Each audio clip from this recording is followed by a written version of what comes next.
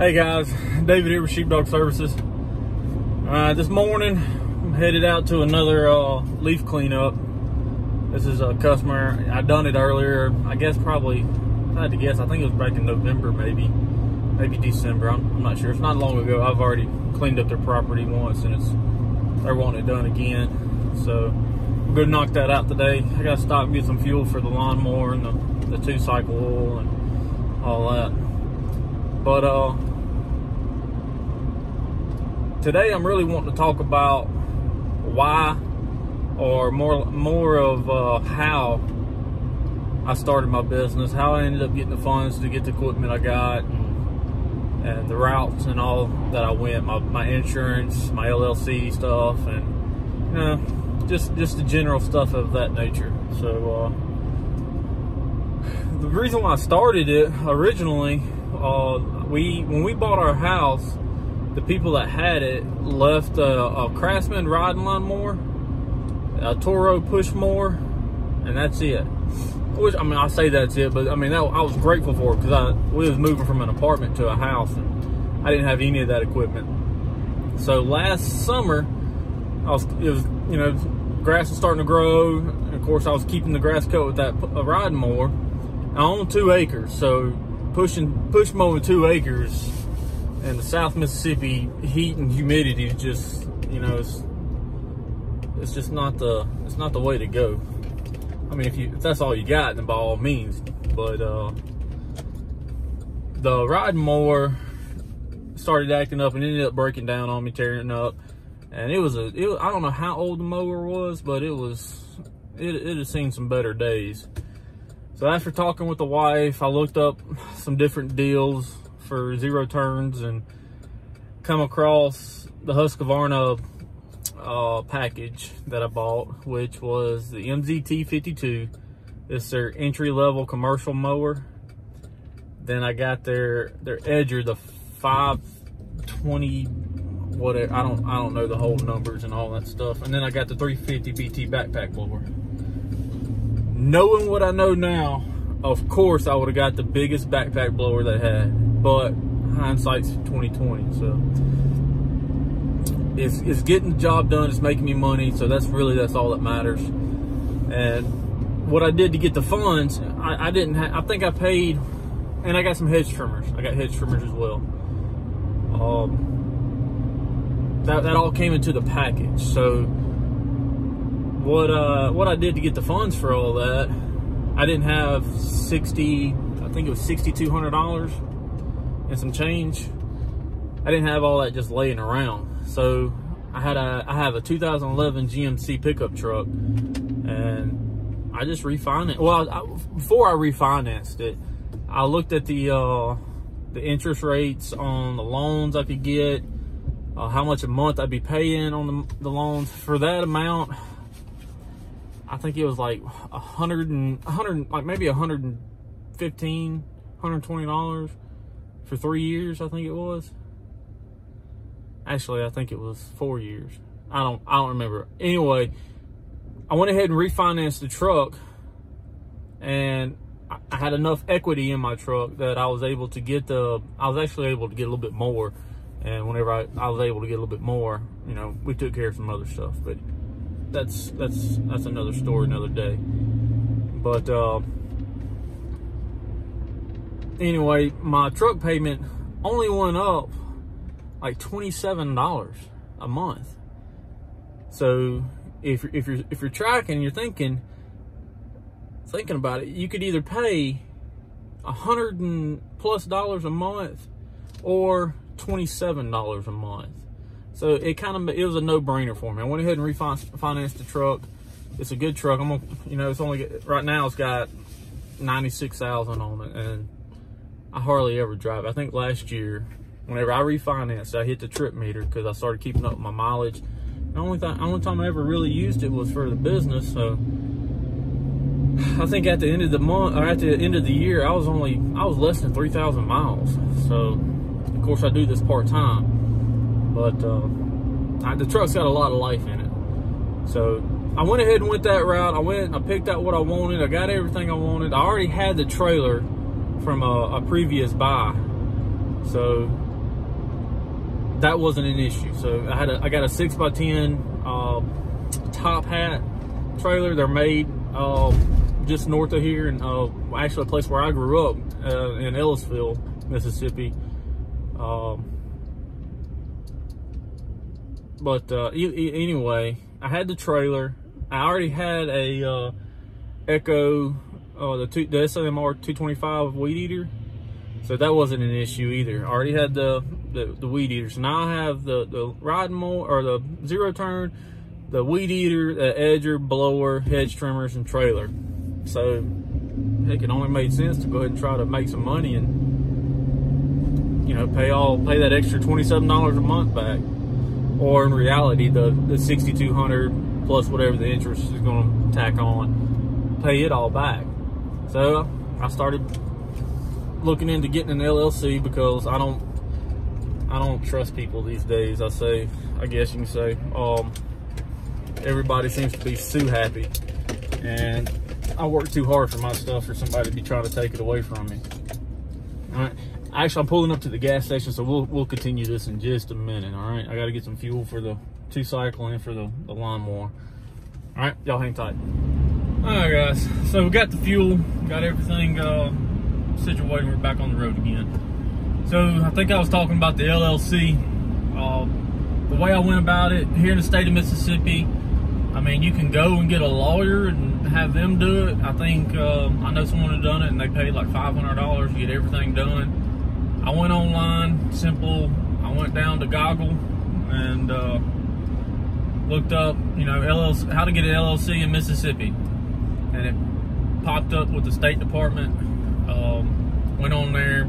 I basically had to come up with a name. Then you have to search to see if that name's already taken. If it's taken, well, I mean, you just have to find another name, or either don't get an LLC. But uh, mine wasn't taken. I decided Sheepdog Services was going to be my business name. It, it, describes who I am. I've already talked about that in a, um, a later video. Uh, anyway, I put it in. It wasn't taken. Uh, there's a, a form on there. You have to fill out who you are, what your business is going to be for, uh, what kind of services you're going to provide, and uh, you got to do like the manager, who's going to be the manager and stuff like that of the account. And then you have to you have to submit it, and I think it was fifty dollars. I think it was fifty dollars to do it, and then I think it was, know, probably two or three days later, I got an email back saying that everything was accepted and congratulations, you're now an LLC. Fantastic. All right, so I done that. I, um, I done. I bought the equipment. I got my LLC, and I had no customers. So in the meantime, I started looking at insurances because once again, people are so happy. They like to. Uh, certain people are. I say. I say that certain people are. And luckily, I've, I've had nothing but really good customers. No complaints out of anybody. Nobody's been hard to work with. Fantastic people. All right, but it's always that that what if that gets you. But, so I started looking at insurances. I went through. I, I called, got a quote from like Geico, Progressive, and all the regular big name people. And man, it was just astronomical how much they wanted for some insurance. So I started Googling again, or goggling again, and I found Hiscox Insurance. And then I talked to a couple of people that, that had it and they've had no complaints and actually used it and filed a couple of uh, claims and they've had no, no complaints at all. And I pay $39 a month for a million dollar policy. So I, I, I went for it. Yeah, it was no, it was no big, it was, it was no question. I, I was gonna go for that. I think everybody else was a hundred and something plus. And, um, I mean, it was, it was, it was a no-brainer. So after I got the insurance, I actually didn't buy the insurance yet. I, I, I found the quote and I held on to it for a little bit, and then I hit Facebook up. I went to, uh, I started Googling, or not Googling, I went to Facebook and I looked up the, uh, the local HOAs and um, different neighborhoods, see if any of them had any kind of Facebook accounts, and you know, quite a few of them did. And I started shooting out messages, not messages, but you know, hitting them, asking if anybody needed anything. First off, a lot of them you have to live in the neighborhood before you can get accepted. So I messaged the uh, the admin of the page, told them who I was, what my my end goal was, what I was wanting to do, what I was wanting to provide, and if it was okay if I if I posted it.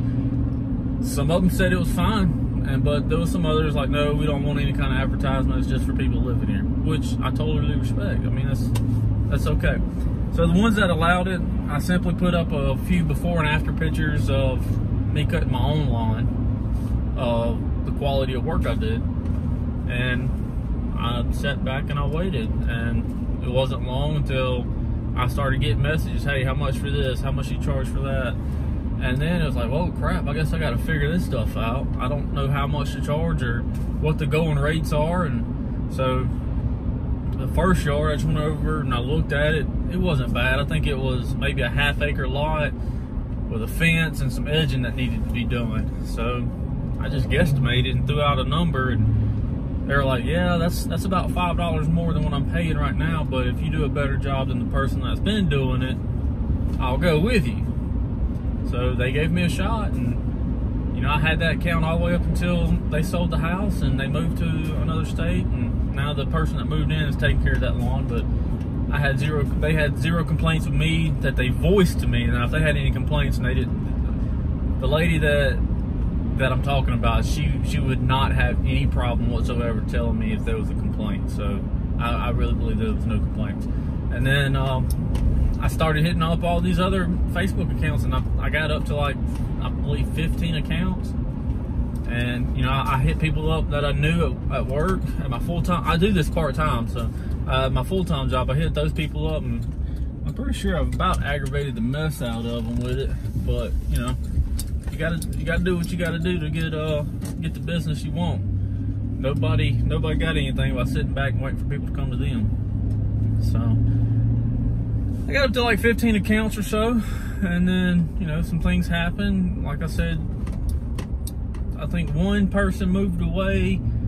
Uh, somebody else started renting their house out or the, the property I was taking care of out, and then I don't know. I think I know one gentleman passed away. Um, some other life situations happened that other people wasn't able to continue paying for lawn service.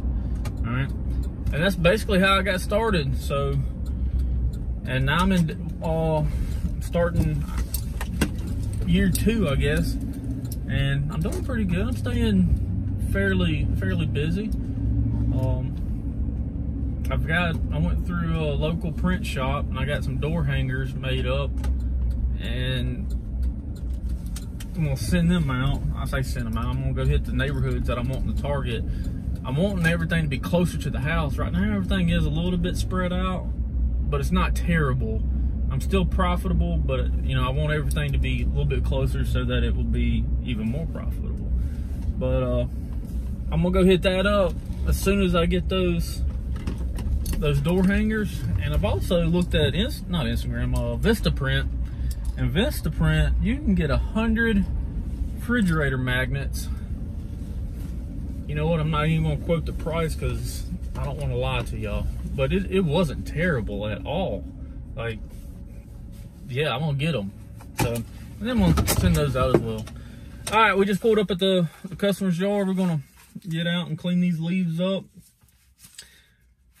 And I, I tell you what, today I'll just show y'all a before and after. I don't think y'all need to see a whole nother cleanup. That ain't, y'all seen plenty of them from. Y'all know how to do it. I blew all the leaves into a pile, mulch them up, and or either put them on the tarp and pull them out. All right, so let's get uh, I'm gonna get out and I'll show you what I got. Okay. All that right. first. I'm gonna show y'all the backyard first. All right, there's a fairly amount of good leaves in here. I'm gonna just blow everything out like I normally do and just mulch it up and put what's left in a on the tarp and take it to the truck and get rid of it. All right, here you go. What? It's the backyard. All the leaves. There's a fairly good amount in here. Always get it off the back porch. Just make sure the grass and everything is good and solid for the lawnmower. It gonna make any ruts.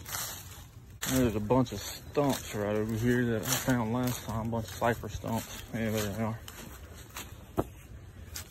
Gotta be careful of these not to hit them. Normally where there's cypress stumps, the ground's pretty wet and that's exactly what's going on. You can probably hear me walking. So yeah, I had to blow everything away from here. We're gonna get all these leaves here. I guess the fence, well not guess, the fence line right there is the this property line. And then here's the front yard.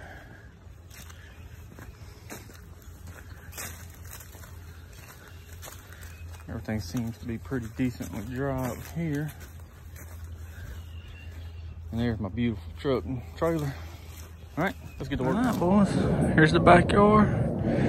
Everything's all cleaned up. Let's go out the gate here if I didn't lock myself in. No, it sure didn't. Ah, here's the side of the house. Shut this gate real quick.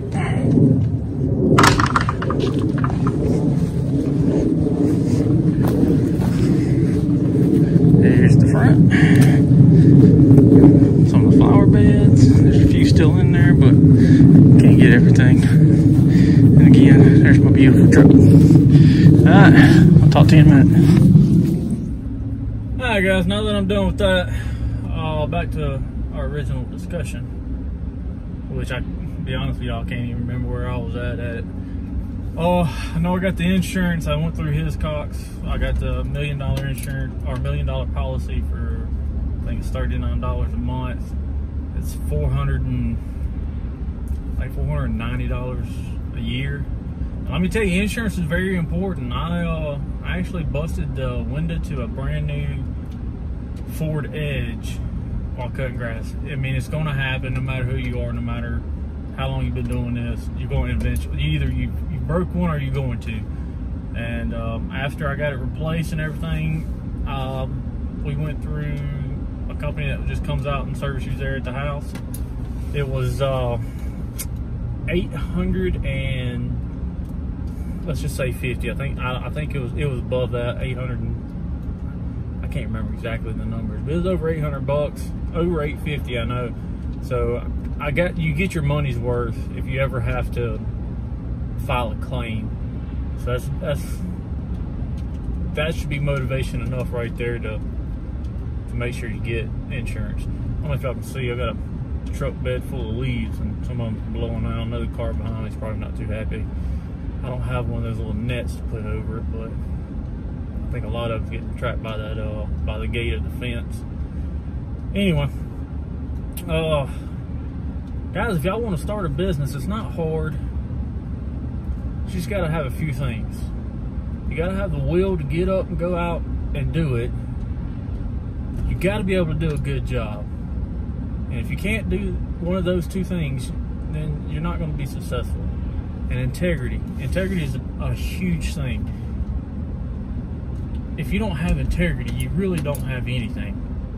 Like on this this job that I just got through with, I busted a uh, little small plant pot. It was completely empty. It was sitting on top of a outside coffee table. I was blowing everything off, and a gust of wind from the blower blew it off, and it busted. I could have easily picked it up, put it in the back of the truck, and pretend like it never happened. Or either left it there because it's been windy and just told them, hey, I think the wind blew it over. Whatever. But then that puts my integrity in check and question. And that's something I refuse to ever have have happen. If uh, if I tell you something happened, you can take it to the bank. It happened that way. Uh, it doesn't matter how much trouble it might get me into or how bad it may make me look one thing you'll never be able to say about me is that I lied about something. So, do a good job. Have the will to get up and get off your butt and go out there and, and work for what you want. And have integrity. Make sure you got your business all lined up just right. But you don't necessarily have to have an LLC. It just protects your uh, all your personal stuff in case somebody ever do decides to, to sue you for something make sure you got insurance, a good insurance company too. that whenever you file a claim, they're not going to fight you on it. All right. Uh, that's that's pretty much it, guys. If you got any questions, put it in the comments below, and I'll be more than happy to get back with you on it. All right. Y'all take care.